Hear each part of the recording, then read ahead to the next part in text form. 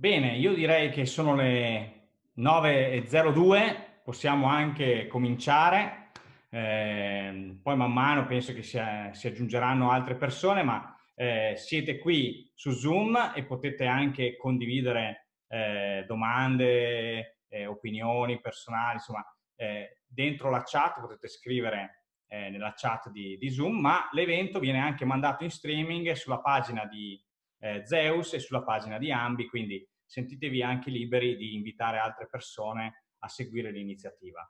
Innanzitutto, allora, buonasera a tutti. Eh, io sono A, eh, AMBI, eh, Associazione Nazionale Biotecnologi Italiani, in particolare sono Davide Ederle, sono il presidente nazionale e, e appunto facciamo la A di biotecnologie dalla A alla Z. E con me c'è Z. Z di Zeus, buonasera a tutti, io invece sono Noemi Burgio, biotecnologa, vicepresidente Zeus Divulgazione Scientifica a Genova è un piacere avervi qui. È un piacere avere qui come special guest Francesco Dosi, che è organizzatore, adesso ve lo presenteremo, del Premio Nazionale di Divulgazione Scientifica. Eh, no, da Francesco ti connetti? Eccolo, ciao, ciao Francesco. Francesco. Eccomi, ciao a tutti. Allora Francesco, cosa ci racconti? Raccontaci qualcosa di te, dell'associazione Hub Divulgazione, del Premio Nazionale. Allora, intanto eh, grazie per, insomma, per, avermi invitato come special guest, soprattutto devo dire è un, un appellativo che insomma, mi dà una certa responsabilità. No, naturalmente, a parte gli scherzi, grazie Davide, grazie Ambi per aver organizzato questo incontro, grazie Noemi per il supporto con Zeus che hai dato nell'organizzare questa occasione. Io eh, credo che occasioni come queste di, di confronto, di approfondimento su certe discipline scientifiche siano importanti, in particolare eh, perché da quanto ho capito il, più o meno il 60% eh, dei, dei, partecipanti a questo incontro sono studenti, quindi eh, sono importanti occasioni anche per capire un po' che, su, che, su, quali strade orientarsi in futuro. Quindi per questo eh, vi ringrazio. Vi ringrazio anche per eh, avermi invitato nel raccontare un po' quella che è l'esperienza del, del Premio Nazionale di Divulgazione Scientifica. Eh, è un premio che è dedicato alla memoria di mio padre, che io ho portato avanti, insomma, porto avanti da circa tre anni, e, ed è un, un concorso letterario eh, rivolto ad opere, eh, libri, articoli e video eh, orientati insomma, delle opere che eh, sono specificatamente di tipo divulgativo. Eh, la divulgazione scientifica, adesso avremo modo di approfondirlo, però in eh, pochissime parole eh, vuol dire spiegare argomenti complessi al grande pubblico. Questo però lo approfondiremo via via perché uno tra gli obiettivi principali del Premio Nazionale di Educazione Scientifica è quello un po' non tanto di mettere in luce eh, il prodotto eh, della divulgazione, cioè quello che mi auguro tanti fra voi in futuro insomma, eh, porteranno, eh, diffonderanno, quanto piuttosto chi questa attività la compie, e l'abbiamo visto, ehm, abbiamo visto che fare attività di divulgazione scientifica eh, è molto importante per diversi aspetti. Eh, intanto abbiamo organizzato una, una, serie di interviste proprio con App Divulgazione che Noemi ricordava e di cui eh, Zeus fa parte. E App Divulgazione è una rete di eh, associazioni che si occupano di divulgazione scientifica e che abbiamo riunito lo scorso anno eh, per farci aiutare nella valutazione dei libri ma anche per iniziare a creare una vera e propria rete di, di, insomma, di, di contatti. So che ad esempio anche Zeus ha iniziato a collaborare, eh, ospiti questa, di, questi interventi saranno anche Biopills, Minerva, fanno parte di questa rete. E eh, abbiamo presentato l'ottava edizione del premio, da, aperta da circa un, un, mese, proprio intervistando chi queste, queste, divulga- queste associazioni e organizzazioni di divulgazione scientifica le porta avanti. E, e, dunque, che cosa è, questo è il modo con cui ho conosciuto Doemi, la quale mi ha detto, ma Francesco, diciamo, vienici un po' a presentare eh, il premio e eh, anche le opportunità che nascono dalla divulgazione scientifica. Ebbene, vi confesso che eh, in questi anni di esperienza è emerso che l'attività di, del divulgatore scientifico raramente, in rare occasioni, eh, rappresenta un effettivo lavoro che possono, che possono svolgere i divulgatori. Spesso sono attività laterali eh, ma eh, ugualmente molto importanti. E questo è emerso da questa serie di interviste che abbiamo organizzato e che potete vedere anche sui canali YouTube del premio e, e delle varie organizzazioni. Eh, poi dopo e... manderemo a tutti i vari link, eh, a tutti i partecipanti. Eh, ma raccontaci magari eh, qualche eh, flash no, di chi ha vinto il premio negli scorsi anni e poi eventualmente come si fa a partecipare per le prossime edizioni. Ah, questo certamente. Intanto molto interessante eh, il fatto che sia un premio multidisciplinare. Eh, nel, negli scorsi anni, eh, nel 2017, vinse un libro che si chiama Expert Brain di Antonio Cerasa, un ricercatore del CNR, che eh, indaga un po' eh, la bravura, la, le connessioni eh, tra menti eccelse in vari campi lavorativi, cioè dal grande chef, dal grande scacchista, quindi chi, cosa li accomunasse. Ma lo scorso anno ha vinto anche un libro eh, nel 2018 eh, che eh, raccontasse come si scrive bene. il libro era di Luccone, Punteggiare rapido accorto ehm, di La Terza, e raccontava in maniera accattivante e affascinante eh, l'arte della scrittura. E quindi la divulgazione scientifica, ed era un po' l'oggetto anche delle interviste che abbiamo fatto, è, ehm, una, è, importante per ogni ambito ed è questa, era questo il titolo di queste interviste.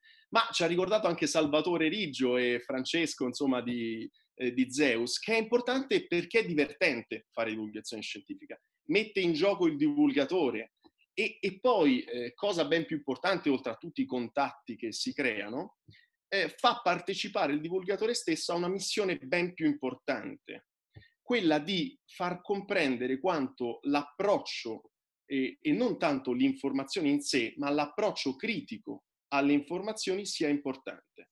Noi eh, leggevo eh, pochi giorni fa, eh, e questo dato forse sorprenderà, abbiamo fra i sistemi educativi migliori in termini di eh, risultati e ehm, di investimenti eh, a livello europeo e dei membri paesi OXE. Adesso probabilmente quel 5% di professoresse potrebbero cadere dalla sedia, ma spiegherò meglio immediatamente che abbiamo eh, uno tra i migliori sistemi educativi a livello elementare. Cioè le nostre scuole elementari sono eh, di buon livello. No, e, no. In termini eh, questo di, di eh, via via che l'istruzione si fa superiore fino ad arrivare all'università, questi risultati e questi investimenti crollano drasticamente. E questo sappiamo è un, un po' un retaggio storico perché per colmare quella, quell'analfabetismo dilagante post seconda guerra mondiale si decise di compiere quegli investimenti. E non sono mai stati cambiati questa logica. Quindi eh, è importante eh, puntare l'attenzione sulla ricerca, eh, l'università e quindi ehm, chi partecipa anche a questa rete, a divulgazione, ha detto, eh, come Andrea Moccia di Geologia Pop, per esempio, io eh, non solo faccio attività di divulgazione, ma voglio ridare valore alla professione che ho compiuto. E quindi sotto questo aspetto è molto importante. Eh, io aggiungo sempre, eh, non abbiamo bisogno di brillanti studenti elementari per il progresso insomma, della società, ma abbiamo bisogno di eccezionali eh, studenti eh, dell'università, eccezionali eh, professori, eccezionali persone laureate. E aggiungo io, insomma, come premio nazionale di divulgazione scientifica, abbiamo bisogno anche di eccezionali divulgatori che diffondano e eh, puntino l'attenzione sull'importanza eh, della divulgazione scientifica e dell'approccio critico all'informazione. Quindi questo è l'obiettivo principale del premio e questo insomma quello che speriamo piano piano di diffondere il più possibile. Grazie mille Francesco per il tuo intervento, ne approfitto soprattutto per dire, come hai detto tu, che Zeus fa parte di Hub Divulgazione e noi questa sera vogliamo un attimino porci un po' accanto a tutti i partecipanti perché se volete, avete voglia, potete assolutamente scriverci. So che siete magari sparsi in diverse città d'Italia, ma proprio perché siamo una grande rete nazionale di divulgatori, anche Francesco magari e Ambi ci aiuteranno magari a recuperare i contatti, non abbiate paura, potete avvicinarvi ad associazioni di questo tipo per provare a dare il vostro contributo o in termini di volontariato, di contenuti, come preferite. Grazie ancora Francesco. Grazie a voi. No, infatti, anche perché appunto questo format, biotecnologia dalla alla Z, parte da A, Ambi, eh, finisce con Z, ma in mezzo ci stanno tutte le altre lettere. Quindi in queste serate vedrete come abbiamo presentato questa sera Francesco, presenteremo anche altre realtà che magari sono proprio sul vostro territorio fisicamente, che, con cui potete interagire, e, seguire gli eventi, aiutarli a divulgarli, a, a organizzarli a gestirli. Insomma, per cui siate protagonisti il più possibile.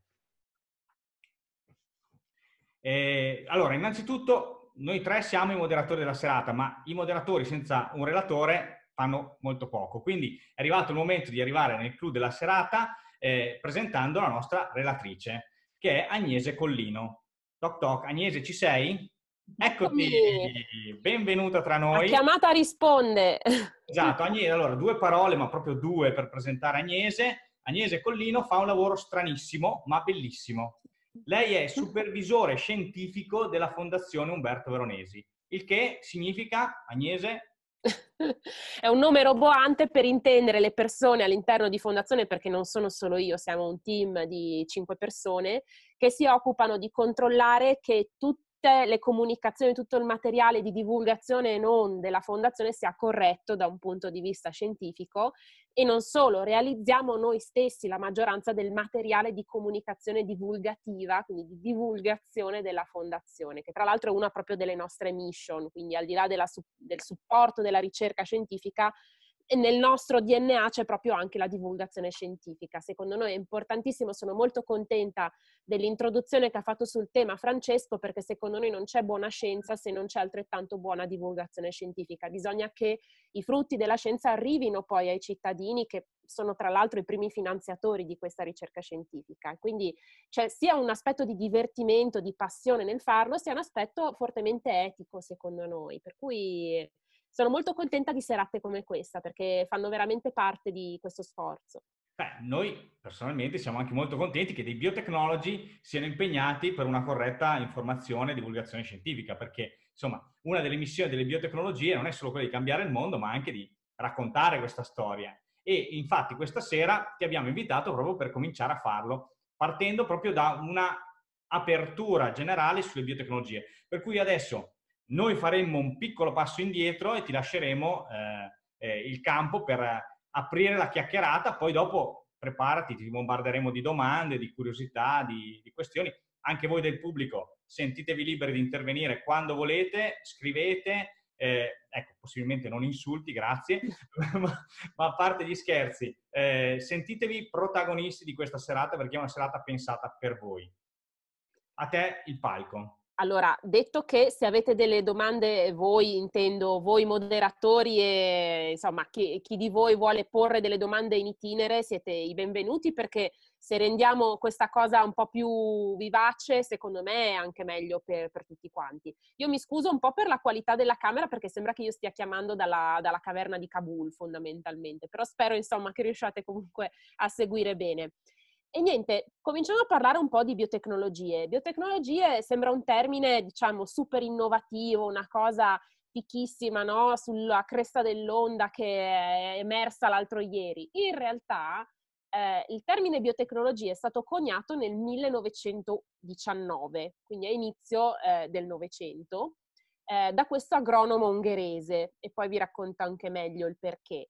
E ancora prima di, di, questo termine, perché ovviamente il termine di solito si conia per qualcosa che già esiste o comunque si pensa, noi tutti come esseri umani avevamo già nell'animo un pochino lo spirito del biotecnologo e questo afflato verso le biotecnologie, perché eh, dalla notte dei tempi, quando abbiamo cominciato a fare la domesticazione degli animali e poi delle specie vegetali e a fare gli incroci tra di loro per cercare di selezionare eh, quelli che erano gli aspetti migliori in animali e piante, migliori per l'uomo, migliori per l'animale stesso comunque per la resa eh, dei vegetali, di fatto avevamo un po' eh, già in mente quello che era poi l'obiettivo principale di molte, diciamo, dei filoni delle biotecnologie.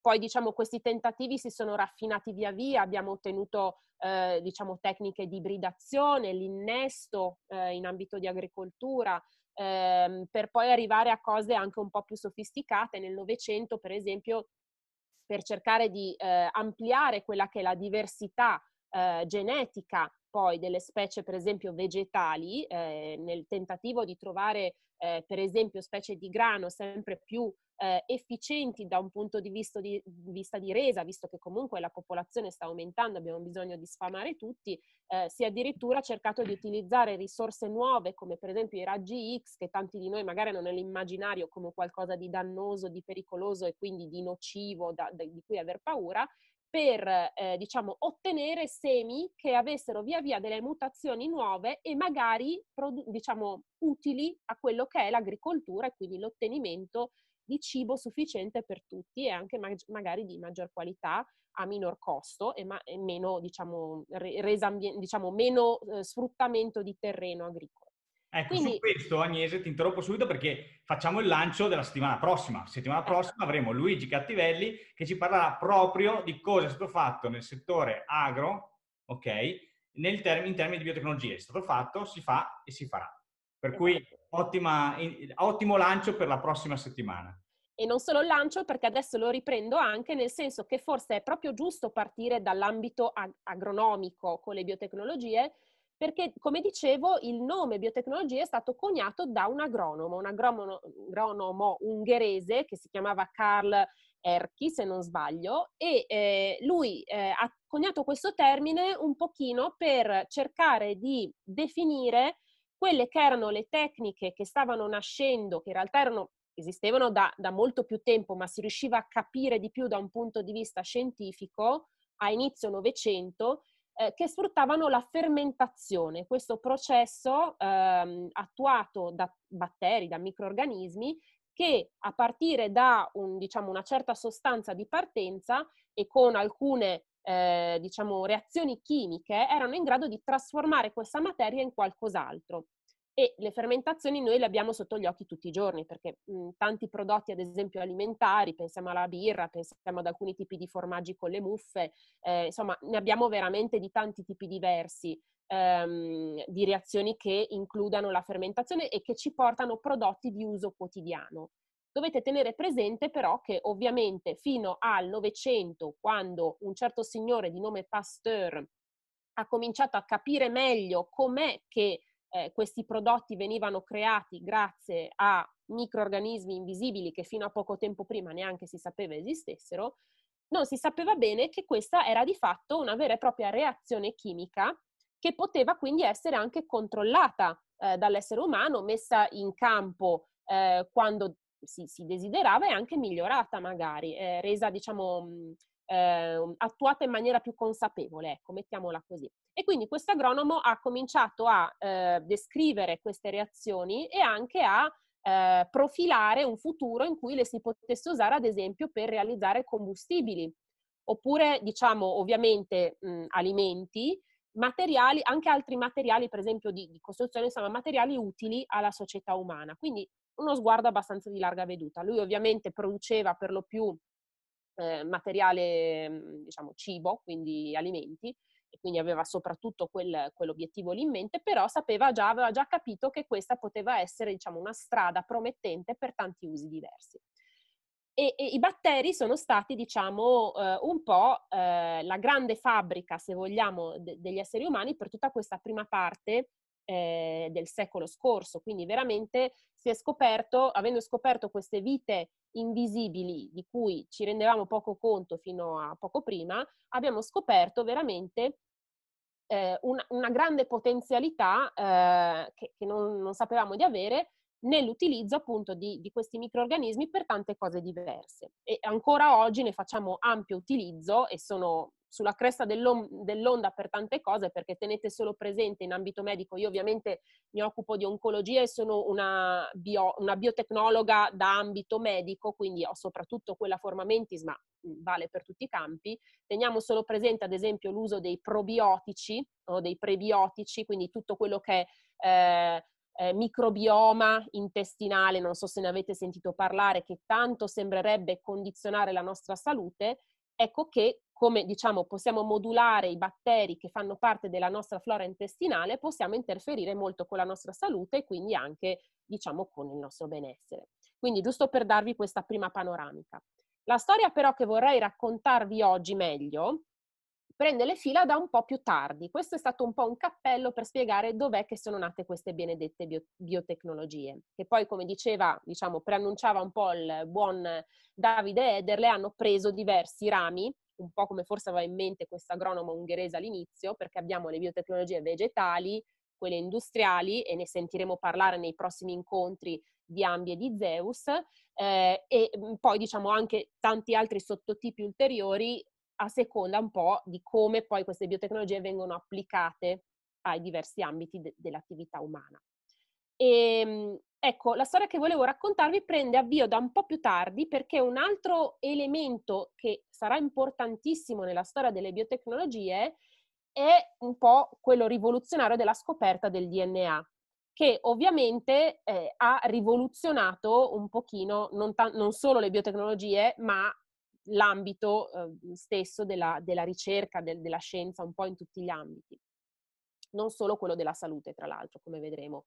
E, eh, e questa scoperta avviene nel 1953, come tanti di noi sappiamo, e subito dà l'avvio a mh, una serie di, mh, diciamo, scoperte collaterali.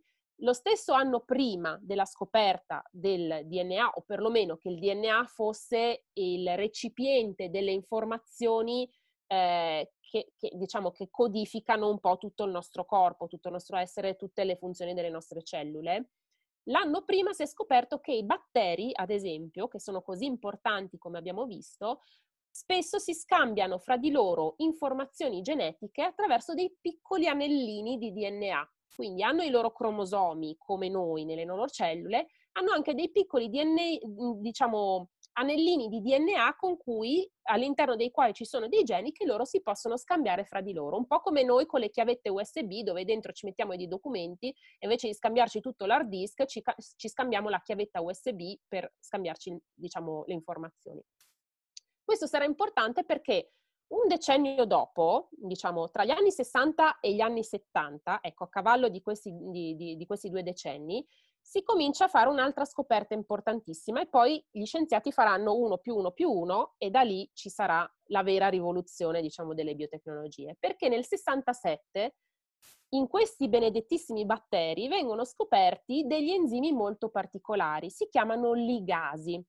Cosa fanno le ligasi? Appiccicano pezzi di DNA diversi, compatibili diciamo in termini di basi, Sapete che il DNA è fatto da quattro basi che, eh, diverse che si combinano fra di loro con un ordine preciso. Questi enzimi si, diciamo, appiccicano pezzi di DNA diversi fra di loro e diciamo, nel 70 si scopre invece eh, che, che, questi batteri avevano anche gli enzimi opposti, cioè quelli in grado di tagliare il DNA in punti specifici della loro sequenza, cioè riconoscono magari un, sei basi diverse in una certa sequenza, a TGC, GC per esempio, sto sparando a caso, e lì sanno che zac, vanno e tagliano, tagliano il DNA in quel punto.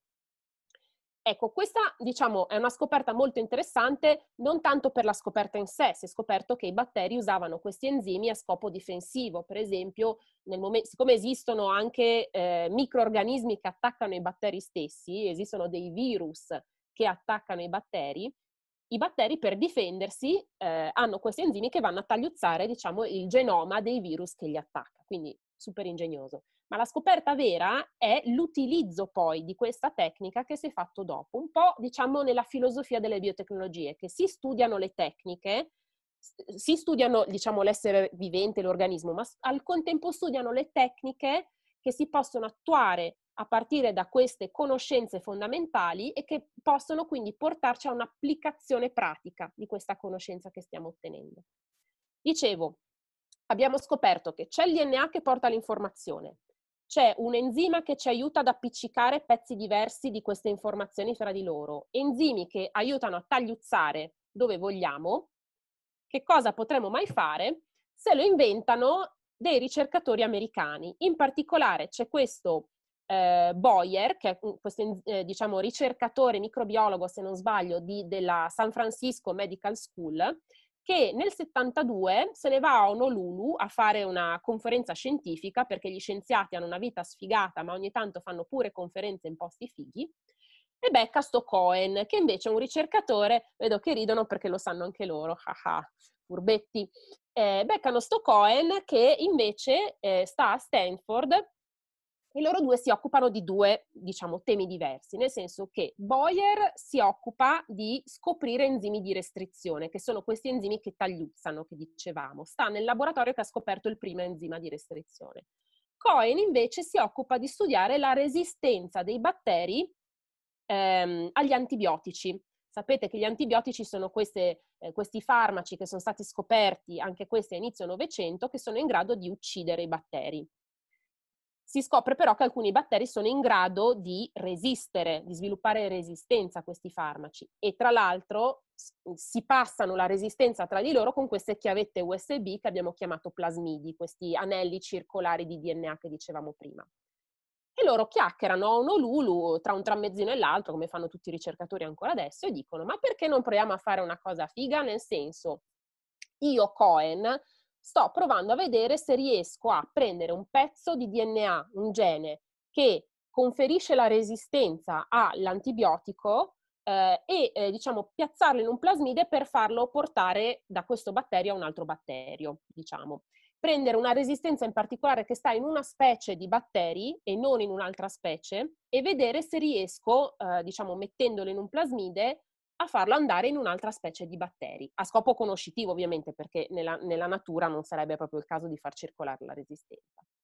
E eh, Boyer dice, ma sai che c'è? Eh, ti aiuto io, nel senso che io invece, noi lavoriamo appunto tagliuzzando e cucendo il DNA con questa tecnica qua, vediamo che cosa riusciamo a fare. Tra l'altro Cohen, furbetto, mica c'era andato per caso dall'amico Boyer, perché Cohen ed è qui tra l'altro la storia figa dei ricercatori, che lavorando in un istituto di ricerca al piano di sotto c'è qualcuno che lavora su un'altra cosa ancora. E Cohen in particolare era il dirimpettaio, stava al piano di sotto, due piani di sopra, non mi ricordo, di questo Paul Berg, che è stato il ricercatore al mondo che ha realizzato la prima molecola di DNA mista, si chiama ricombinante, cioè appiccicando con le ligasi e gli enzimi di restrizione due pezzi di DNA diversi, provenienti da due virus diversi in questo, in questo particolare caso. E quindi un elemento in più, già qualcuno aveva provato a appiccicare DNA diversi fra di loro. Cohen è andato a chiedere all'amico Fritz mi aiuti a fare questo lavoro qua per vedere se riusciamo a trasferire dell'informazione da un batterio all'altro e ci sono riusciti. Nel 72 non solo hanno realizzato una molecola di DNA ricombinante, quindi hanno appiccicato un gene di resistenza eh, di un batterio all'interno di un plasmide, diciamo che aveva un'altra provenienza, ma soprattutto Cohen è riuscito a infilare questo plasmide dentro un certo tipo di batteri e ha verificato che era in grado, diciamo, di trasmettere questa informazione ad altri batteri e non solo, questi batteri si pigliavano questa informazione, erano in grado di far funzionare quel gene lì, anche se non era il loro naturale, e questa proteina che veniva prodotta da questo gene funzionava. Ed è stata una scoperta mondiale, non tanto per i batteriucci lì, perché che cosa te ne vuoi fare? Tra l'altro ammazziamoli subito perché se poi questi circolano bene non fa, quindi diciamo c'è ovviamente un aspetto di attenzione. Ma era mondiale perché i ricercatori si sono immediatamente resi conto dell'enormità delle possibilità aperte da questa nuova tecnologia si chiama tecnologia del DNA ricombinante. Se qualcuno di voi deciderà di studiare biotecnologie, vedrete che ce l'avrete, vi martelleranno gli zebedei con questo DNA ricombinante fino a che non finirete il corso fondamentalmente. Ma è veramente importante perché questo significava aprire l'era che, oggi, che ancora oggi vediamo, che si è tramutata nell'era dell'editing genomico, ovvero del modificare le molecole di DNA nella maniera più utile o comunque eh, migliore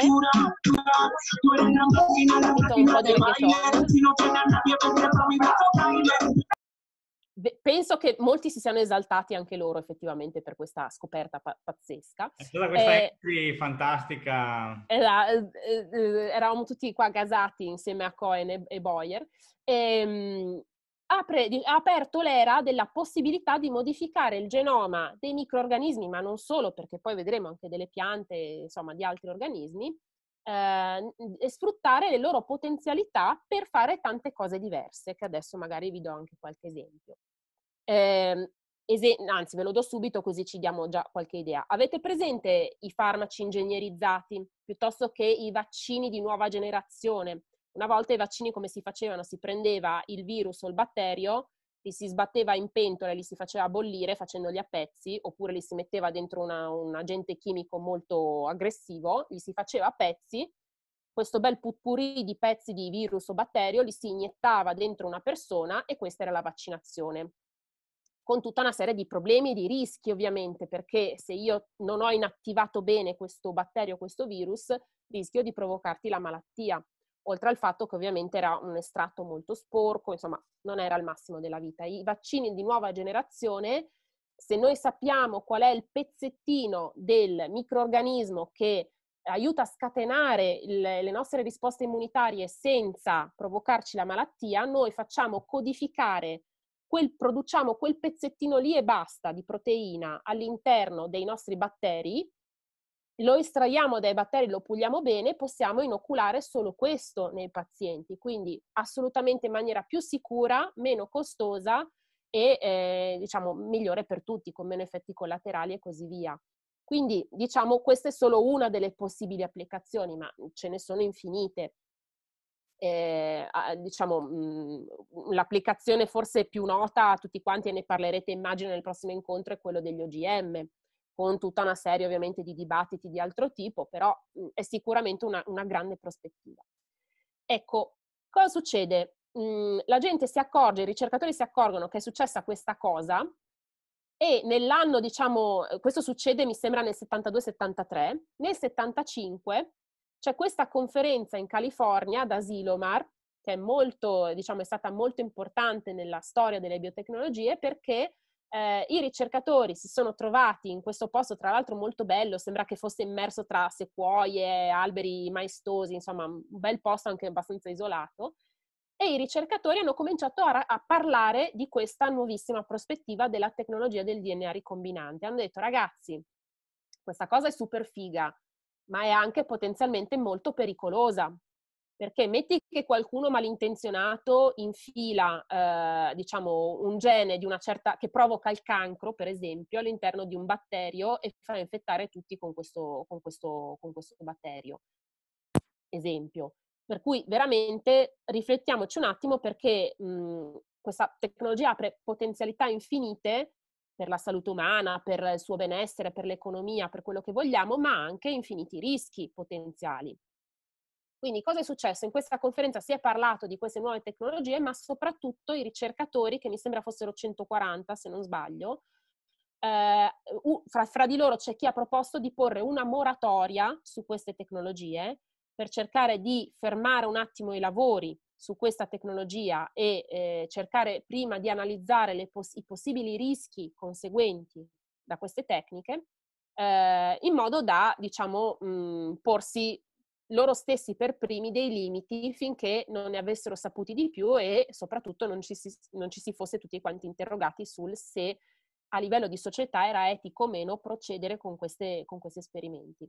Questo è stato un po' uno dei primi esempi, o sicuramente uno degli esempi più noti a livello storico, di come i ricercatori stessi, che non sono cosa altra dalla società, fanno parte della società, si pongono per primi gli stessi dilemmi etici che poi si pone la società stessa, cioè è giusto, noi abbiamo questi poteri enormi, ma è giusto usarli? O, e se è giusto, come usarli e, e che cosa invece non è lecito fare con queste potenzialità? E badate, badate che è molto importante questa storia che io vi sto cercando di raccontare in maniera un po' simpatica perché che è successo anche molto più recentemente, nel 2015 se non sbaglio, correggetemi se sbaglio, eh, con la nuova tecnica del CRISPR-Cas9, CRISPR-Cas9, che forse avrete letto un po' in giro nei giornali, eh, se ne parla abbastanza diffusamente, magari in questi anni, in quest'anno in particolare col Covid, magari un po' meno, però se ne è parlato parecchio, che è questa nuova tecnica che è uscita appunto mh, mhmm, po- pochi anni fa, ehm, scoperta anche questa a partire da meccanismi naturali che avvengono all'interno dei microorganismi e che permette di fare quello che diciamo prima, l'editing genetico, cioè eh, prima parlavamo di taglia e cuci di pezzetti di DNA, qui siamo in grado di andare a correggere lettera per lettera in maniera molto precisa quello che c'è scritto in un certo gene, in una certa porzione insomma del nostro genoma. Quindi veramente una correzione molto precisa. Pensate che potenzialità ha questo per risolvere ad esempio le malattie genetiche, dove abbiamo un errore di una lettera o di poche lettere all'interno di un gene che fa sì che una persona magari stia male tutta la vita. Quindi veramente potenzialità enormi, ma altrettanto enormi rischi, perché una tecnica così precisa, tra l'altro semplice, poco costosa, che può essere implementata da qualsiasi laboratorio, se non controllata ovviamente potrebbe potenzialmente portare anche a malintenzionati che ci fanno cose strane. E la stessa richiesta di moratoria che era stata fatta da Silomar nel 1975 è stata proposta da dei ricercatori anche nel 2015 per le tecniche di CRISPR-Cas. Quindi vedete, sono dilemmi etici che si ripropongono a livello ciclico man mano che la tecnologia avanza e le biotecnologie, oltre a essere importantissime da un punto di vista sociale economico, oltre che medico e scientifico ovviamente, mi hanno tanto, eh, diciamo, interessato nei miei primi anni quando ho deciso di prendere biotecnologie nel mio percorso di studi proprio per questo, perché sono un po' al centro del nostro dibattito sociale, aprono, sono talmente eh, rivoluzionarie nelle tecniche e nelle possibilità che offrono di decennio in decennio, ormai, quasi di anno in anno ormai, eh, a livello scientifico, da porsi un po' al centro del dibattito sociale, del dibattito pubblico, con dei quesiti a cui non è facile rispondere perché da un punto di vista etico ovviamente la risposta giusta o sbagliata non ce l'ha nessuno.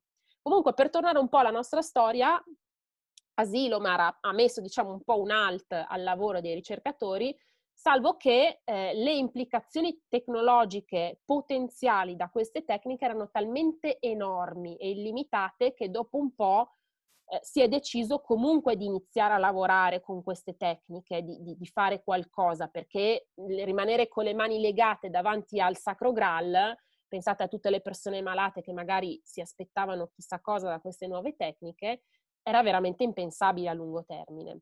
Anzi, anche a breve, perché di fatto già dall'anno successivo si è ricominciato a ridiscutere questa, questa moratoria. Ovviamente con tutto un cancan mediatico, perché non è che solo oggi eh, si fanno le bagarre a livello mediatico, già ai tempi politici, eh, media hanno cominciato a discutere, eh, i politici hanno cominciato a dire sì, ma allora vogliamo avere una parola, cioè vogliamo avere un ruolo nel decidere come utilizzare queste tecniche, gli scienziati, ecco, i politici vogliono intromettersi nella scienza, insomma, ne sappiamo qualcosa perché secondo me al giorno d'oggi di queste scene qua ne abbiamo più o meno davanti agli occhi sempre come anche giusto forse che sia. Sta di fatto che si è cominciato pian piano ad utilizzare queste tecniche. Negli Stati Uniti le NIH, che sono i National Health Institutes, diciamo un po' eh, la, la, una delle più grandi entità scientifiche americane, nonché una di quelle che detta un po' legge in questi, in questi ambiti, ha cercato di stabilire delle linee guida su come utilizzare queste tecnologie in modo da renderle sicure, quindi confinando questi esperimenti in istituti di contenimento, in luoghi di contenimento, in modo da evitare che qualora venisse creato un organismo che portava del DNA modificato non sfuggisse al di fuori del laboratorio e se, eh, diciamo, progettare questi stessi organismi eventualmente nella maniera in cui se anche per qualsiasi caso fossero dovuti uscire all'esterno non avrebbero potuto propagarsi, per cui di fatto rendendoli eh, sicuri per l'ambiente, per l'essere umano, per gli animali e per quant'altro. Quindi queste erano un po' le prime linee guida, ovviamente con il progresso del, del sapere si è, si, si è, ci si è un po' evoluti anche in quel senso. Oltre al fatto che ovviamente eh, la, la, comunità scientifica è vasta e ramificata, per cui eh, di fatto si, si, sa tutti un pochino a che punto si arriva eh, man mano del, del progredire, diciamo, delle, delle applicazioni tecnologiche. La cosa interessante anche di questa storia che volevo raccontarvi è un pochino come le biotecnologie, al di là di questo sapere e delle possibilità, crea anche impresa.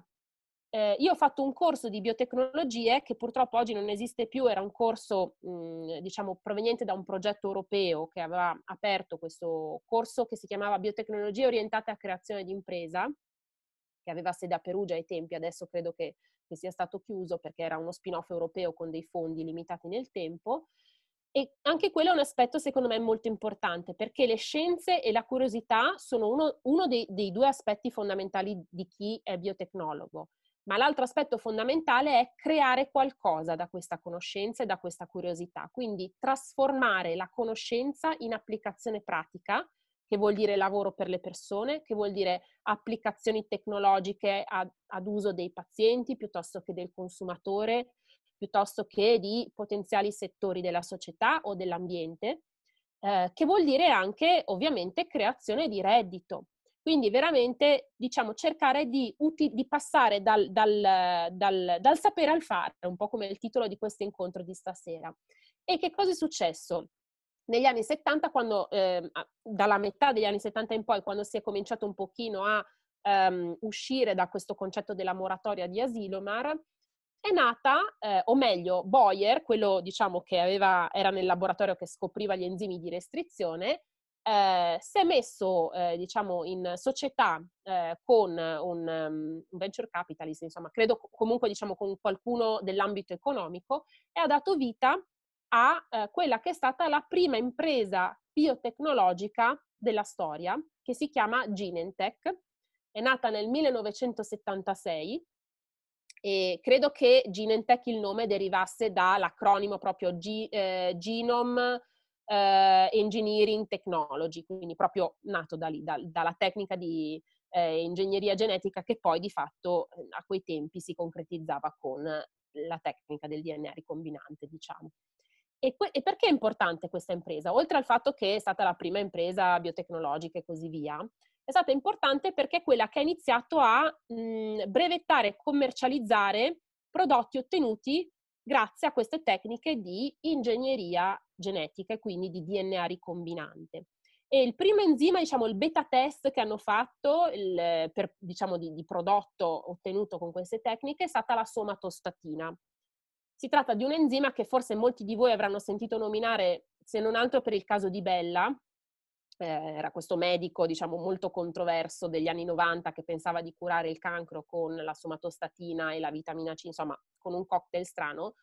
Lasciate perdere somatostatina e cancro perché mh, mm, eh, diciamo, non è eh, un'equazione che funziona. Per il momento, se non altro non ci sono prove, comunque il metodo di Bella non ci interessa perché non, a parte che non è il tema di stasera, ma mh, mm, ve lo dico, non funziona, chiusa parentesi. Ma la som- somatostatina in sé è molto interessante come prodotto, come ormone, si tratta di un ormone, perché è un enzima che a parte che fa, eh, scusate, un ormone che a parte che fa un sacco di cose nel corpo, quindi è un neurotrasmettitore, è un, un ormone che inibisce la produzione di insulina, glucagone, eh, gli ormoni tiroidei, insomma regola un pochino tutto il profilo ormonale eh, del corpo umano, se non altro una buona parte.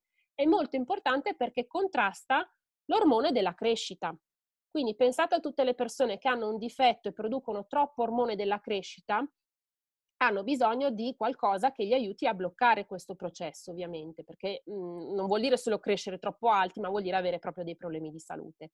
E loro cosa hanno fatto? Hanno ingegnerizzato dei batteri dando loro del DNA, dei geni, per produrre la somatostatina in maniera, tra virgolette, sintetica, nel senso senza estrarla eh, da eh, altri esseri viventi. E perché questo è importantissimo?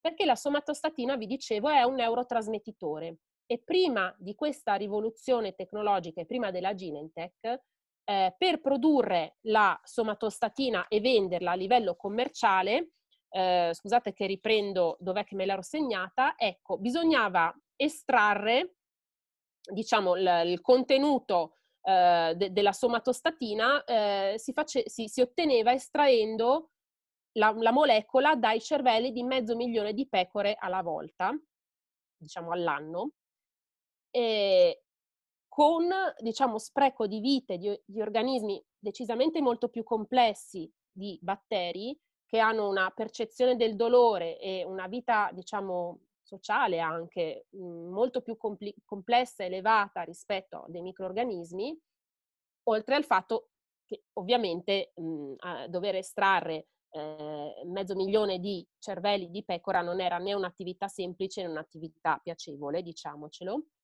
Ma non solo, era un'attività ovviamente anche molto costosa perché stabulare così tante pecore per poter ottenere questa benedetta molecola non era sicuramente una cosa che si fa dall'oggi al domani. Ecco, questo processo per cui con due galloni di mh, diciamo, boccia in cui si tengono i batteri ingegnerizzati e gli si fa produrre questa sostanza, ha fatto anche crollare i prezzi della somatostatina che è passata in un botto da 30.000 dollari al grammo a 300 e meno dollari al grammo e poi ha continuato anche a calare. Quindi vedete, questa tecnologia, questo è solo il primo esempio, ma questa tecnologia ha permesso di ottenere un prodotto più puro, perché ovviamente estrarre una molecola da tessuti animali può voler dire che si trovino sempre delle tracce del tessuto di partenza nel prodotto, quindi ovviamente si ottiene un prodotto più pulito, più economico per tutti, con beneficio in primis dei pazienti, eh, con risparmio di, di, di, di, vite animali in questo caso, quindi una tecnologia che in qualche modo ha beneficiato un po' tutto il cerchio e su cui tra l'altro è stato anche permesso di guadagnare, perché ovviamente questa era un'attività produttiva per questa, per questa nuova azienda. E non solo perché questo era il loro beta test, l'anno successivo hanno deciso di eh, qualcuno, no, non pensavo fosse una domanda, hanno iniziato di passare a quello che poi è diventato il loro blockbuster, e cioè l'insulina. Pensate che fino... Ci vediamo in pista. Ciao, ciao. Pensate che fino a, eh, a fi- fino a quell'epoca l'insulina, e pensate quanti sono i diabetici eh, e, e che vita facevano i diabetici prima dell'insulina che oggi abbiamo a disposizione, L'insulina fino a quell'epoca veniva estratta dal pancreas di vacche o di maiali. Quindi anche in questo caso pensate quanto diciamo, utilizzo di vita animale per ottenere questo che comunque, era un, eh, che, che comunque un ormone salvavita per i diabetici. Ehm, anche in questo caso ovviamente con l'ottenimento di un ormone che sicuramente non aveva il grado di pulizia, di purezza eh, che si può ottenere da un prodotto sintetico e con, con, con i costi che vi lascio immaginare. Ecco, mh, mhmm, Genentech subito dopo la somatostatina è riuscita a ottenere l, diciamo, l'insulina pulita a partire da batteri, anche in questo caso grazie alla tecnologia del DNA ricombinante, e ancora oggi la otteniamo in questa maniera, con dei prezzi ovviamente molto, molto migliori per i pazienti, con una disponibilità anche in termini di quantità molto maggiore, e quindi diciamo maggiore fruibilità per tutti quanti, e da lì non si è più smesso, perché poi si è iniziato a produrre tutta una serie di altri prodotti, anche l'ormone della crescita stesso, che era un po' diciamo per l'utilizzo contrario a quello della somatostatina. Insomma, è stata veramente l'inizio di una grande rivoluzione perché ha permesso cosiddet- la cosiddetta nascita dei farmaci ingegnerizzati e questa è solo stata una delle prime applicazioni di questa grandissima tecnologia che ha poi aperto il mondo a tutto, diciamo, una serie di altre scoperte, di altri prodotti e di miglioramento della vita delle persone, senza dubbio. Su questo, guarda, faccio subito una nota, tanto perché così eh, aggiungiamo una nota di colore. Sicuramente tutti voi, o quasi tutti, eh, avete anche mangiato uno di questi enzimi ingegnerizzati, non di quelli che ha citato Agnese, ma eh, se avete mangiato formaggio, la probabilità che usia, sia stata usata una chimosina sintetica, cioè fatta in questo modo, è altissima. Una volta per fare il formaggio bisognava cagliare il latte e si usava un enzima che si chiama chimosina, che si trova nello stomaco dei vitelli. Ora, immaginatevi quanti vitelli servirebbero oggi per fare tutto il formaggio che noi mangiamo, mentre una volta mangiavano i montanari e pochi altri, il formaggio adesso lo mangiamo tutti. Ora, grazie a questo enzima eh, ingegnerizzato, ne abbiamo quantità sufficienti e non dobbiamo sacrificare milioni di vitelli per mangiare tutto il formaggio. Ed è una, un'innovazione che per il benessere animale da un lato, per la qualità dei prodotti dall'altro, è fondamentale. Per cui, insomma, per dire quanto è stata pervasiva questa tecnologia anche nella vita di tutti i giorni, per cui anche di cose di cui non abbiamo mai sospettato, però ci ha cambiato. Non parliamo dei detersivi con tutti gli enzimi che si usano per per, per pulire i detersivi e quant'altro. Per cui, scusa, mi piaceva fare questa nota. No, hai fatto benissimo. Porta da un livello molto sanitario anche a un esatto. livello molto quotidiano. Hai fatto benissimo perché ovviamente io ho, diciamo, la mia ho eh, la, la, mia deviazione da, da, biotecnologa medica, però sì, cioè veramente quando all'inizio dicevo questa scoperta ha rivoluzionato non solo l'ambito sanitario, ma un po' tutti, è perché poi questa tecnologia è stata usata veramente in tanti ambiti diversi. Noi batteri così come anche eh, le piante. Tra l'altro le piante stesse sono dei reattori, come si dice, formidabili per la produzione di sostanze. Eh, sono, diciamo, vengono usati in tanti ambiti diversi. Pensiamo anche a, eh, diciamo, sicurezza ambientale o la de- depurazione, tra virgolette, a livello ambientale. Veramente le applicazioni sono infinite e stanno quasi solo alla fantasia un pochino del ricercatore stesso e alla necessità poi del cittadino che propone, diciamo, una, una, fa una domanda ai ricercatori.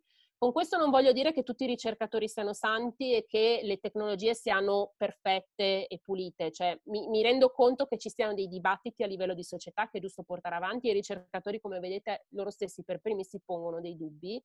Eh, sicuramente però è innegabile che queste sono potenzialità estreme e secondo me per chi si pone la domanda di un percorso di studi sono anche estremamente fascinose, secondo me. Quindi se avete un pochino questa, diciamo, questo interesse, sicuramente vale la pena valutarlo. Ecco.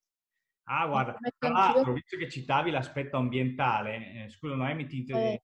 faccio questa nota, il, il, il, primo brevetto biotech è di un ceppo che degradava il petrolio, ok? Grazie, grazie Benny per il tuo eh, ma insomma, cioè, il concetto si chiamava ceppo super bug, super ceppo, ok? Eh, che era in grado di degradare diverse forme, diverse molecole che fanno parte del, del petrolio e quindi eh, aprì un grande dibattito proprio anche sulla brevettabilità di questi organismi, non dimenticando che il primo brevetto su un essere vivente l'ha, l'ha fatto Pasteur nel 1800 quando si è brevettato il metodo per la, per la purificazione e utilizzo del lievito di birra per fare eh, esatto. le cose. Per cui, insomma, scusa. Sì, Vado, ha tolto l'audio. No, io volevo semplicemente dire che ci sono alcuni che hanno già commentato, quindi tipo Valeria, Denis, che effettivamente in realtà tu hai già risposto a quello che hanno detto, ma portavano un po' l'esempio di um, purificazione di molecole da cervello di pecore, come dicevi tu. Questo succedeva anche, ad esempio, da cadaveri ma non solo per quanto riguarda, come diceva Valeria, le contaminazioni prioniche, ma anche per altri tipi di contaminazione. Quindi in generale dal punto di vista dell'igiene ehm, è sicuramente un avanzamento di, senza dubbio, è stato subito un avanzamento di tecnologia, eh, quanto dal punto di vista etico, come già più volte detto Agnese, anche dal punto di vista della sostenibilità, sia per la produzione sia per i pazienti, se parliamo sempre di eh, farmaci. Poi, come dicevano anche ehm, dal, sempre Valeria, eh, la lattasi ad esempio, che ha cambiato la disponibilità de, ad esempio per gli intolleranti, o Lorenzo che ci parla appunto dell'inquinamento, ma hai anche già risposto quasi anche a lui. Quindi grazie per questa carrellata di, di esempi. Bravi che, che, ci avete in qualche modo, in, diciamo, presi prima e ci avete pensato anche voi, perché effettivamente qua sono talmente tante le applicazioni, i campi che quasi si fa fatica anche a, a ricordarseli tutti, perché veramente le biotecnologie sono praticamente tutte intorno a noi, sembra quasi uno spot della banca, ma in realtà è verissimo. Eh, ne, sono, ne abbiamo paura spesso quando ne parliamo, ma in realtà ci circondano già in tante cose della vita quotidiana e ci circondavano quasi ancora prima che noi sapessimo dell'esistenza delle biotecnologie, perché ne facevamo uso senza neanche renderci conto del fatto che questi erano proprio de- de- dei processi chimici e biologici. Ecco. Sì, sì, quando facciamo il pane in casa, di fatto stiamo facendo biotecnologie, quando lievitiamo il pane ci sono dei microorganismi che sono eh, Saccharomyces cerevisiae, un lievito, e usiamo la sua macchina molecolare per, per far lievitare il pane. Come quello ci sono tantissimi altri esempi. Lo yogurt, quando facciamo lo yogurt in casa, stiamo prendendo dei microorganismi, dei batteri lattici e gli stiamo facendo produrre delle cose che interessano a noi e che eh, generalmente non, eh, non, non, fanno parte, insomma, de- delle cose che si trovano in natura così come sono, ecco, cioè, a- arrivano eh, grazie al, al, fatto che facciamo due cose fondamentali quando facciamo biotecnologia, applichiamo l'intelligenza ai problemi e li risolviamo. Troviamo un modo eh, per risolvere problemi complessi utilizzando sistemi biologici, che è una cosa, se pensate, che abbiamo cominciato a fare fin da subito, da quando abbiamo usato le pelli per vestirci, perché le pelli non è che le abbiamo trovate in natura così, abbiamo preso un animale, abbiamo imparato a farlo. Quando abbiamo inventato, inventato la cottura abbiamo usato eh, gli animali, le piante per nutrirci e così via.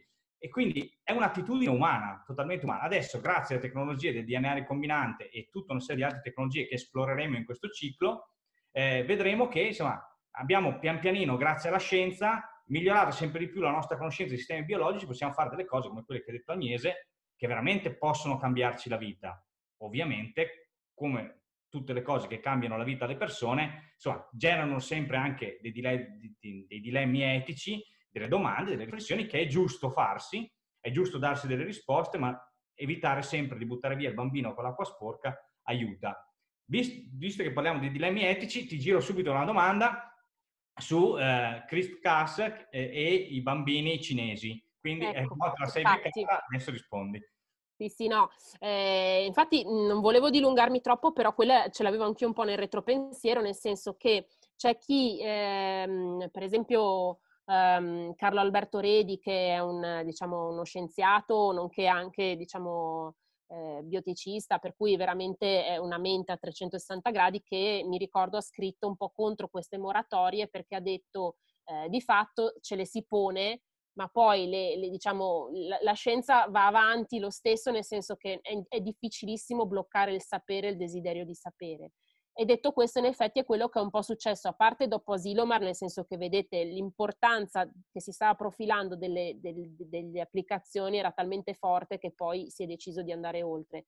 Ma soprattutto in questo caso, tra l'altro in un mondo molto più moderno come era quello del 2015, con una scienza molto più globalizzata, tra l'altro, perché ovviamente scienza in, eh, ad alti livelli in Cina eh, nel 75 forse si era a livelli un po' più indietro, però al di là di questo Mhmm, nel 2015 quello che è successo è che c'è stata una richiesta di moratoria da parte dei ricercatori riguardo alla tecnica CRISPR-Cas9, salvo poi che eh, si è saputo praticamente subito dopo o subito prima che in Cina c'era chi eh, stava già provando a utilizzare questa tecnica per eh, ingegnerizzare il genoma di, eh, bam, diciamo di, di, di di, di, oh mamma mia, di zigoti, ecco, quindi di, di, bambini in essere. E quindi ovviamente con tutta una serie di problemi etici enormi che ci si poneva, perché ovviamente mh, modificare il DNA di una persona eh, mh, può essere, diciamo, a fine positivo e in quel caso lì in teoria era per cercare di se non sbaglio, eh, diminuire la possibilità di infettarsi con HIV, una cosa del genere, non ricordo bene al momento, ma può anche essere fatto per motivi molto meno giustificabili, tipo avere gli occhi azzurri o insomma cose di questo genere qua. Quindi veramente dilemmi etici enormi. Ovviamente ehm, la comunità scientifica mh, in generale eh, cerca di prendere le distanze da queste, da queste manifestazioni, diciamo, di, di libertà mh, autoreclamata eh, è vero però che altri stati hanno deciso di concedere l'autorizzazione a sperimentazioni di questo tipo controllate nel senso senza poi dare un esito di gravidanza e quindi di formazione dell'organismo, quindi a scopo conoscitivo del vedere se si può fare teoricamente e funziona. Sono dilemmi etici enormi, sono dilemmi etici ancora in corso peraltro perché di fatto non è che ci sia una risposta e forse non c'è neanche una risposta definitiva a questi dilemmi, e, ehm, e, e, non si sa bene dove porteranno, nel senso che eh, c'è un dilemma etico nel permettere cose di questo genere e ad aver paura di permetterla perché ovviamente poi mh, mhmm, non è che hai sempre il poliziotto dietro che controlla il bancone. Dall'altro tu hai una serie di problemi a cui un paziente magari potrebbe rispondere solo con queste nuove tecnologie e chiudere del tutto la porta vorrebbe dire chiudere la porta anche a questi pazienti. Quindi veramente, mhmm, diciamo, io non ho la risposta e spero che mh, mhmm, man mano con l'avanzare delle conoscenze si riesca un po' a fare come è stato fatto negli anni 70, ovvero procedere con calma, mettendo via via dei paletti che cerchino di, di delineare la strada senza essere troppo, diciamo, repressivi, ma delineare la strada cambiandola man mano che le conoscenze vanno avanti. Questa è un po' la mia percezione. Io poi non so, qui secondo me è anche molto aperto al dibattito, nel senso che magari Davide, Noemi, Francesco e così via hanno un'idea diversa, però secondo me questo è un po' quello che dovrebbe succedere. Io chiederei proprio a, a, al non biotecnologo qui tra i nostri moderatori di, eh, di, di, di darci il, il, suo input. Uh Sì, eh, grazie Davide. Io mi sono, eh, piano piano, non ti volevo interrompere Agnese, ma mi sono appuntato un po' di, di domande. Allora, intanto la prima, eh, quella che tira acqua un po' al mulino del premio, è sapere, ed è una, una domanda che faccio in maniera ricorrente, come hai iniziato a fare attività di divulgazione scientifica? Perché io so, ti seguo e, e vedo... Grazie. Un momento di esaltazione. Ma quindi io, dici in particolare? Assolutamente sì, e anche la fondazione che oggi rappresenti, chiaramente. Allora, Fondazione Veronesi è iniziato, cioè è nata nel 2003 e, e il professore già di suo aveva la, diciamo, la verve del divulgatore, nel senso che potevi stare ad ascoltarlo le ore, era molto piacevole e in più aveva una visione molto ampia, nel senso si interessava molto anche di etica, di società, per cui gli piaceva anche parlare di scienza perché riusciva a mescolare questi aspetti fra di loro non risultando mai banale né troppo pesante al pubblico perché parlava di cose che interessano anche il pubblico proprio da vicino. Ma al di là di que- e quindi la fondazione ovviamente che lui ha creato non poteva che avere un po' questa natura. Ehm, io in particolare invece ero ricercatrice, quindi dopo essermi laureata eh, ho, ho, intrapreso il dottorato di ricerca. Io mi sono, allora, mi sono laureata e mi sono sempre dedicata un pochino all'ambito oncologico, avevo un po' questo pallino eh, ho iniziato a fare ricerca nell'Istituto Europeo di Oncologia, che è qua a Milano, eh, anche in questo caso dedicandomi al, ai tumori del fegato in particolare. Eh, e mi interessava particolarmente eh, l'aspetto dei microbi e dell'infiammazione che generano i tumori.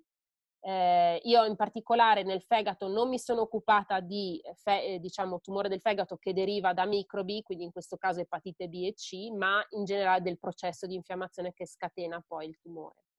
Dopodiché, cosa è successo? Che all'inizio del mio dottorato di ricerca ho dovuto iniziare a lavorare con i topi, io non avevo mai lavorato con gli animali prima, esattamente nel momento in cui in Italia è scoppiato il grandissimo casino della sperimentazione animale. E mi ricordo che avevo una coinquilina eh, a casa qua a Milano all'inizio che era animalista convinta, quindi vi lascio immaginare quando ho iniziato a lavorare sui topi le grandi discussioni che scoppiavano ogni volta che io tornavo a casa.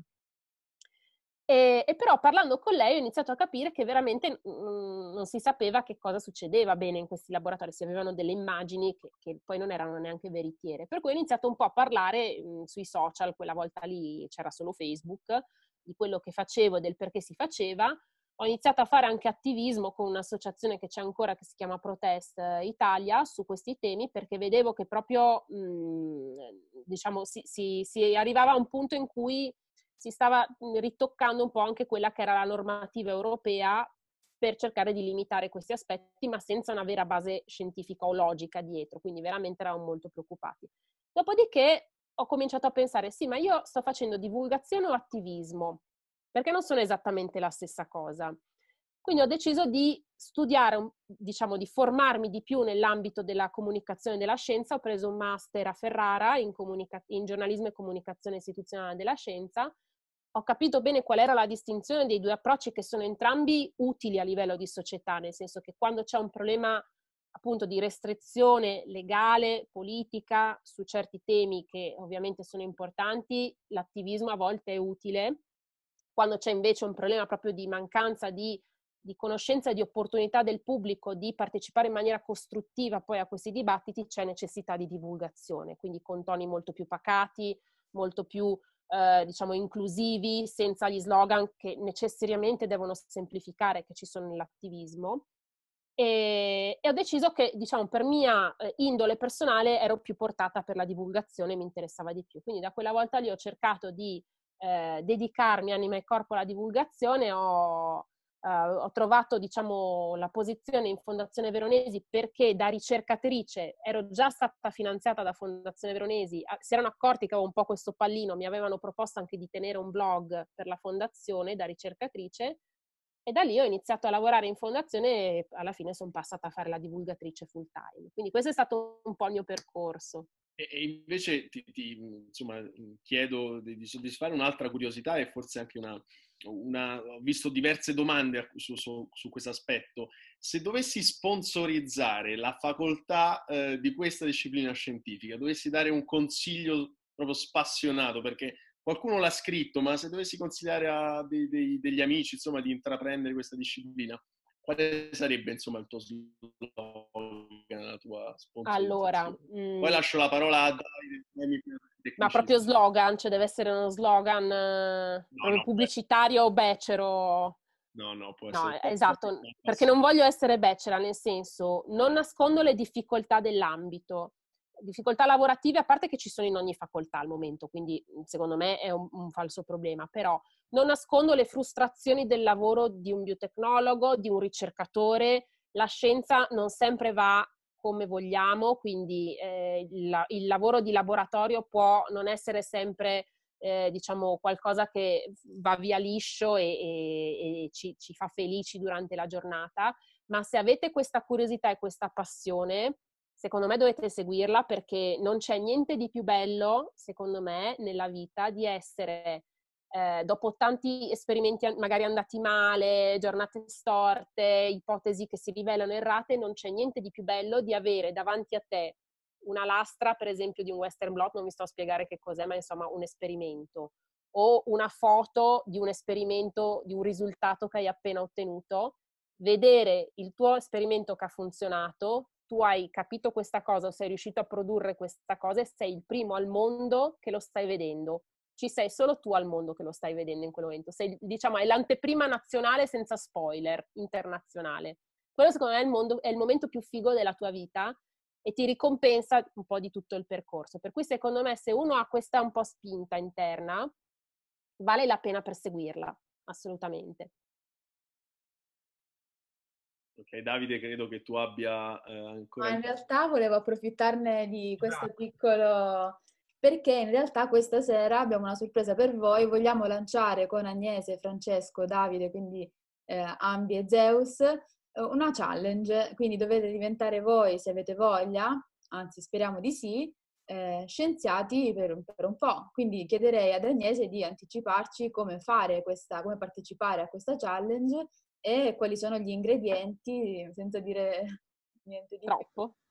Allora, ragazzi, mh, mm, eh, volevamo proporvi eh, un, un, ma posso dire il motivo, cioè il, che cosa andiamo a fare, giusto? Perché sennò qualcosina bisogna spiegare. Certamente. Eh, allora, un, uno dei momenti più fighi, secondo me, dello scegliere una carriera scientifica o anche solo avvicinarsi a questa carriera scientifica, assieme al momento che raccontava Francesco prima del ah, ce l'ho fatta, è stato, almeno nel mio caso, vedere con i miei occhi per la prima volta il DNA voi direte, ma il DNA non si può vedere, cioè è una roba infinitesimale che sta nelle cellule, come fai a vederlo? Invece si può vedere benissimo, eh, con alcune condizioni ovviamente, che però sono condizioni che possiamo avere anche noi se abbiamo, basta che abbiamo una cucina mediamente attrezzata, diciamo, e quindi cose, eh, infatti vedo che qualcuno l'ha già, l'ha già beccata come esperimento, è un esperimento molto famoso, molto anche abusato se vogliamo, quindi magari qualcuno di voi lo conosce già, però mh, secondo me se qualcuno non l'ha mai fatto è, è, molto interessante, ma soprattutto è anche molto, non so come dire, divertente. Io la prima volta che ho visto il DNA non avevo fatto l'esperimento della banana, l'ho visto in laboratorio, quindi molto più avanti, e quando ho visto quello zecchino lì ho detto, cazzo, però che figata, scusate le parolacce.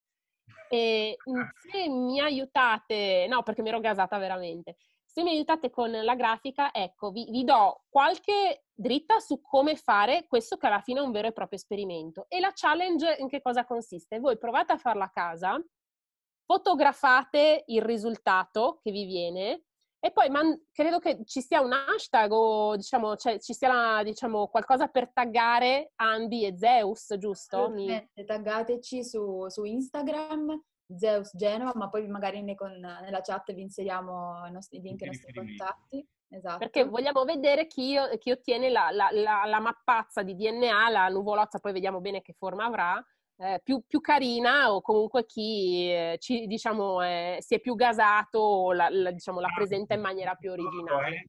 Biotecnologo è chi biotecnologo fa, quindi... Esatto, assolutamente. Allora, vedo che molti hanno già proposto diversi frutti eh, c'è chi ha lanciato la banana, il kiwi, la fragola. L'idea è partire, estrarre questo benedetto DNA da un frutto che tendenzialmente ha molto DNA. Io qui propongo la banana perché ha un alto numero di cromosomi, per cui di fatto ogni cellula ha una vagonata di DNA, per cui estraendolo di solito riesce a vederlo bene.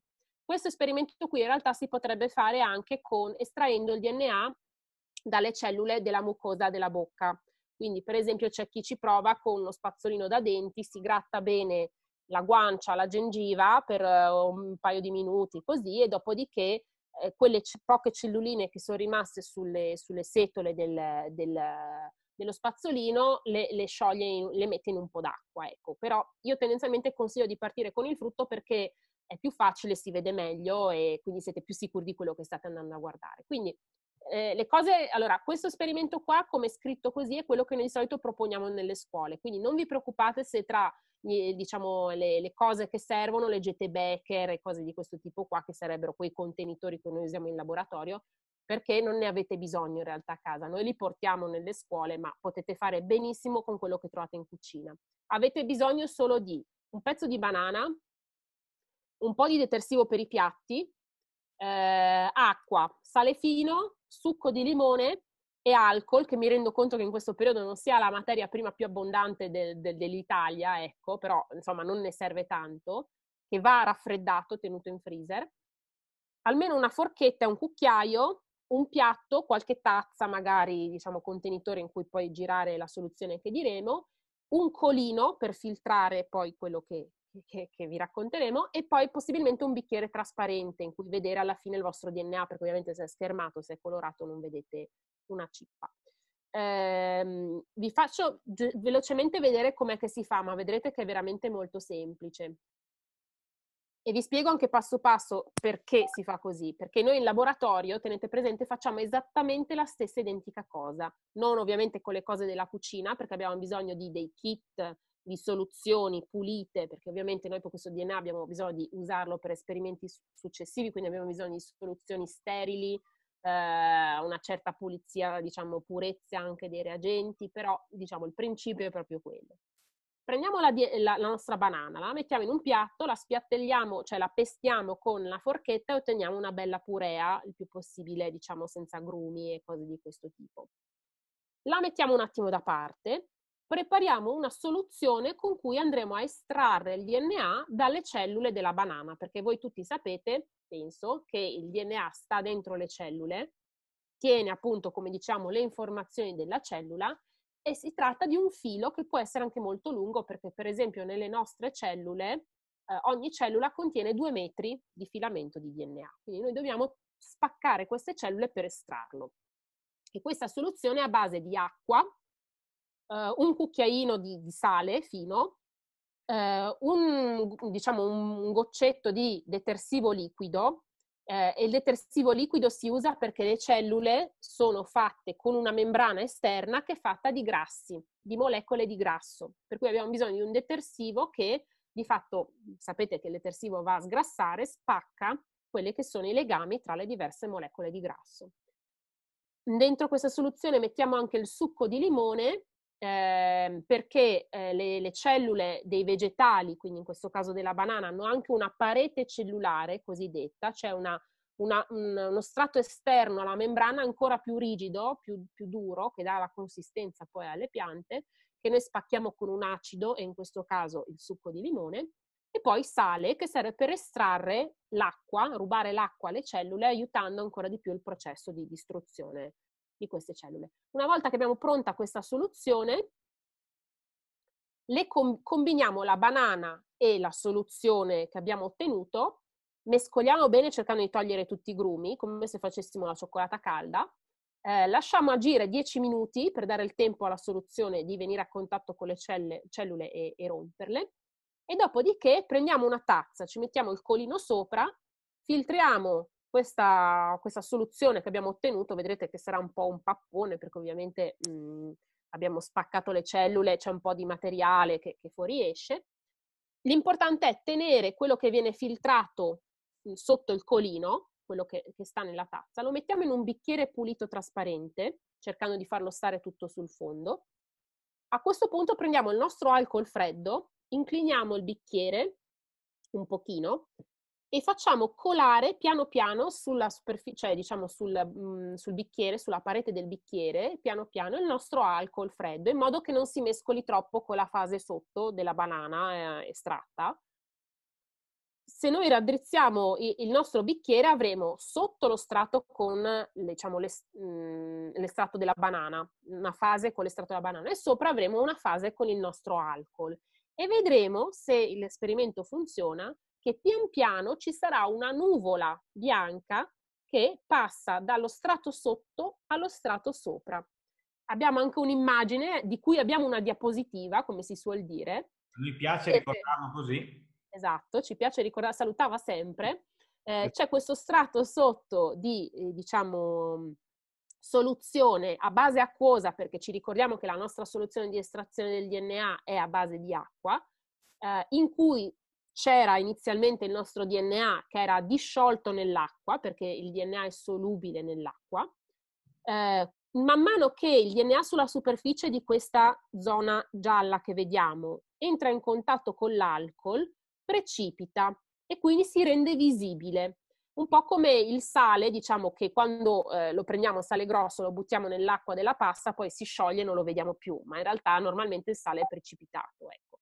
Eh, questo perché succede? Perché l'alcol ruba le molecole di acqua al nostro DNA eh, sciolto nell'acqua e quindi a quel punto il DNA si rende visibile. E come si rende visibile? Vedete quella sorta di nuvoletta che si intravede in alto, nuvoletta chi- più chiara dell'alcol, esatto, quella che sta indicando, eh, che ci stanno indicando, quella lì è una nuvola di DNA. Fondamentalmente dovete immaginarvela come un gomitolo di tanti fili annodati tra di loro in maniera caotica, perché sono usciti ovviamente in maniera eh, random da, dalle cellule, si sono un po' annodati, un po' mescolati. Quella lì è un gomitolo di DNA, il gomitolo del DNA della banana.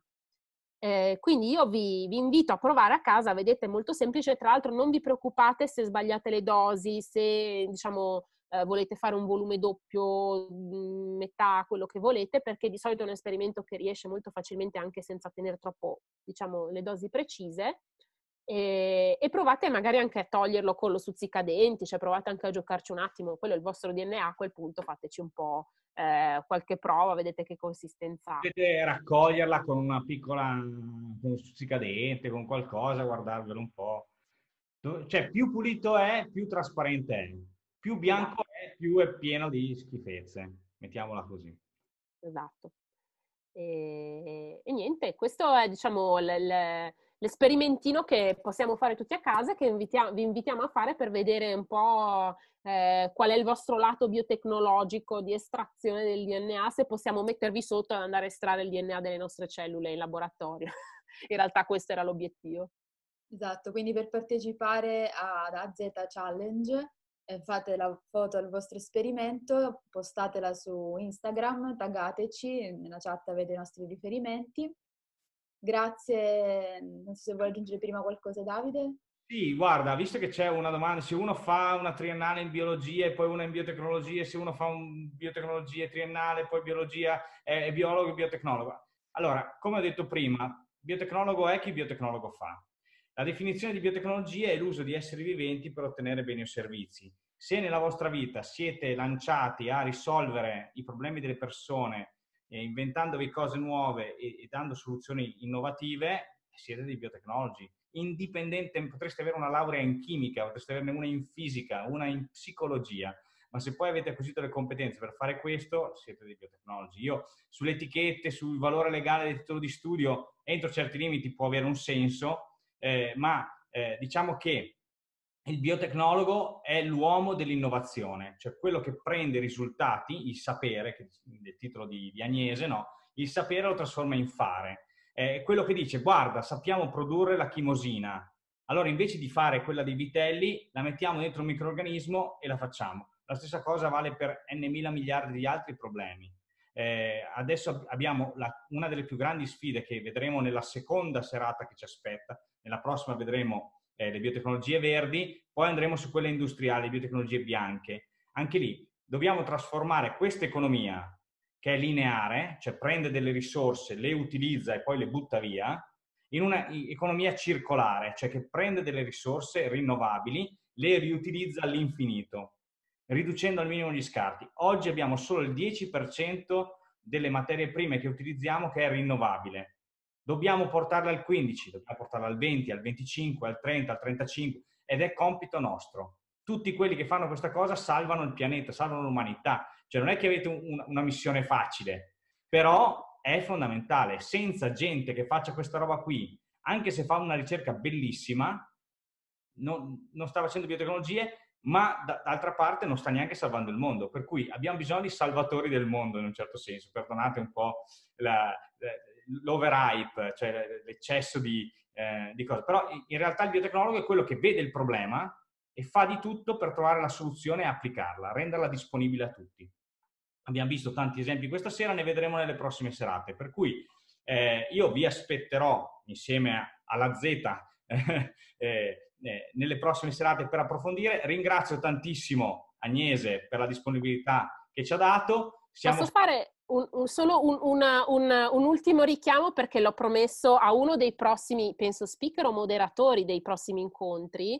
Eh, volevo un attimo fare un po' pubblicità a questo, se a qualcuno interessa. Tu lo conosci, Davide? Sì, sì eh. sarà eh, l'autore di questo libro, sarà il mio sostituto nella terza serata, cioè ecco. sarà il generatore di ambi per quella serata. Ecco, per chi volesse magari sapere di più sulle biotecnologie in generale, quindi tra l'altro con un taglio molto meno sanitario del mio, eh, vi consiglio questo librettino che è sottile, come vedete, che parla un po' delle biotecnologie, tra l'altro soprattutto su quelli che sono un po' i risvolti che raccontava adesso Davide, quindi anche eh, diciamo l'aspetto del cercare di riciclare le materie, del eh, fare del nostro meglio per rendere questo posto un posto migliore per tutti quanti.